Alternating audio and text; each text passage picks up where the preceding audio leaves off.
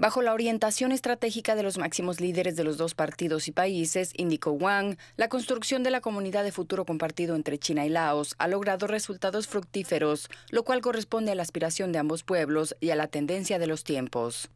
Señaló que China está dispuesta a trabajar con Laos para profundizar la confianza mutua estratégica, promover la cooperación mutua beneficiosa, compartir las oportunidades de desarrollo y trabajar mano a mano hacia la modernización.